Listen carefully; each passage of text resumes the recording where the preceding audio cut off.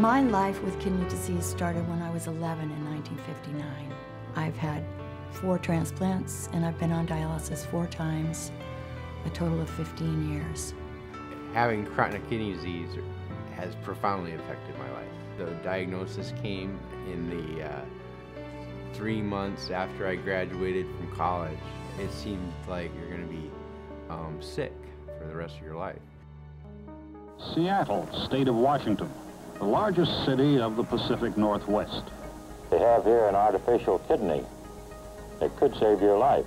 We were created through the efforts of Dr. Belding Scribner at the University of Washington. In 1960, he did something that had never been done before.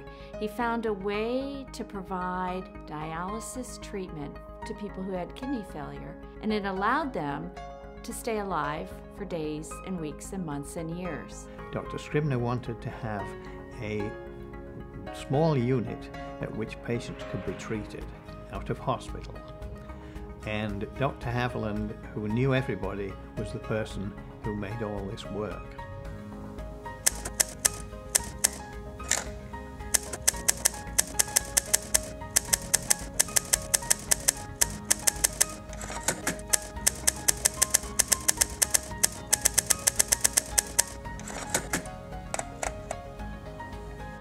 And so the Northwest Kidney Centers was founded in January of 1962. We opened our doors as the world's first out of hospital dialysis program.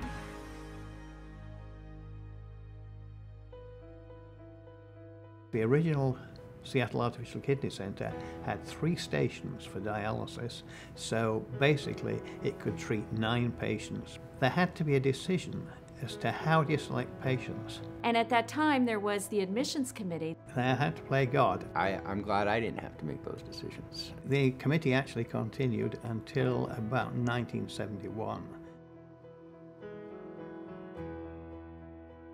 Giving a patient control on their life, giving them flexibility so that they can have good quality of life. How else could you do it? If you want to keep them alive with the best therapy on a flexible schedule and a lower cost. Home is where it is. Survival is better, opportunity for rehabilitation is better. It's the ideal treatment if you are able to do it.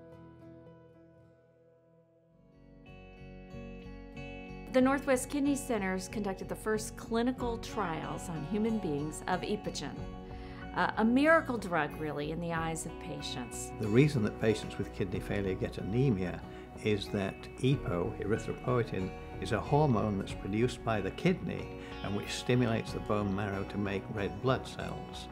And when the kidneys fail, in most patients, their EPO production goes down. I cannot tell you how that drug changed my life. I remember one day coming, my children coming home from school and I was crawling up the stairs on my hands and knees. And they stopped and looked at me with fear in their eyes, saying, Mommy, why are you sitting in the middle of the stairs? After EPO, I didn't have to crawl up the stairs anymore. I could run up the stairs. Northwest Kidney Centers is for much more than dialysis. The patient is, at the, is the focus of our care. They um, coordinate care for kidney transplants. Our kidney transplant rate is 75% higher than the national average. They dialyze some people that other dialysis centers wouldn't want to dialyze because they're so sick. We now have 14 treatment centers where we started with one. We now serve um, patients in 10 hospitals when they have kidney problems. We now have 220 people getting treatment in their homes. We continue to broaden our services and deepen them through education, patient care, and research. It changed from being sort of uh, small time to big time in, in no time. Without having access to dialysis, I uh, wouldn't have been the best man in three weddings. Uh, I wouldn't have uh, traveled to 31 uh, countries uh, now. I've dialyzed in 22 countries. Had it not been for the Northwest Kidney Centers, I wouldn't have graduated from college. I wouldn't have gotten married. I wouldn't have had two children. I wouldn't have two grandchildren. They saved my life.